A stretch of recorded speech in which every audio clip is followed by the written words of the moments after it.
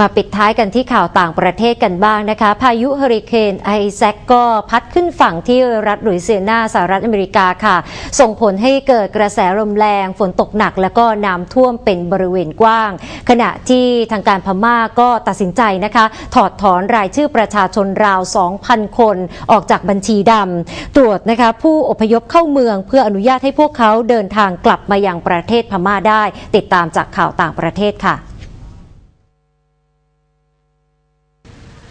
กระทรวงข่าวสารพม่าแถลงว่า ชาวบ้านที่ถูกถอดออกจากบัญชีดำ เป็นเจ้าหน้าที่รัฐที่อพยพหนีออกจากประเทศพม่าเมื่อหลายปีมาแล้ว เนื่องจากปัญหาทุจริตและการกดขี่ทางการเมือง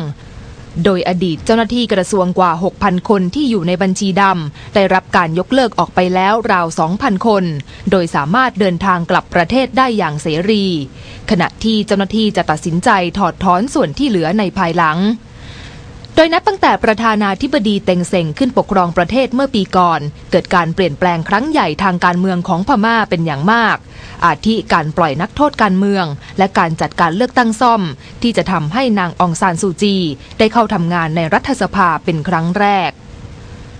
พายุเฮอริเคนไอแซคขึ้นฝั่งบริเวณตะวันออกเฉียงใต้ของรัฐหลุยเซียนาแล้ว ความรุนแรงของเฮอริเคนลูกนี้ยังส่งผลกระทบต่อรัฐมิสซิสซิปปีและอลาบามาด้วย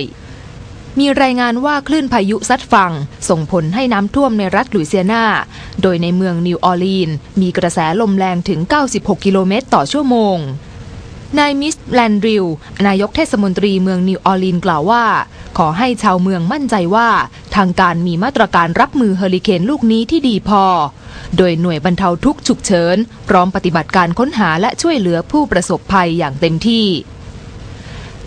ไต้ฝุ่นบลาเวนได้พัดถล่มเกาหลีเหนือแล้วในที่ 29 สิงหาคม เที่ยวบินจำนวนมาก รวมทั้งเรือโดยสาร และเรือสินค้านับพันลำ ต้องงดออกจากฝั่ง ทางการเตือนว่าพายุลูกนี้อาจมีความรุนแรงที่สุดในรอบหลายปี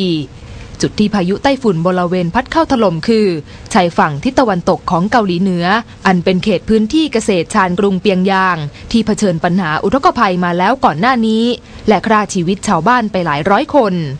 อิทธิพลของพายุโบลาเวนทำให้เกิดฝนตกหนักและลมกระโชกแรงในกรุงเปียงยาง เลยไปถึงเมืองหยันไถในมณฑลชานตงของจีนทำให้การจราจรเป็นอัมพาตอย่างสิ้นเชิง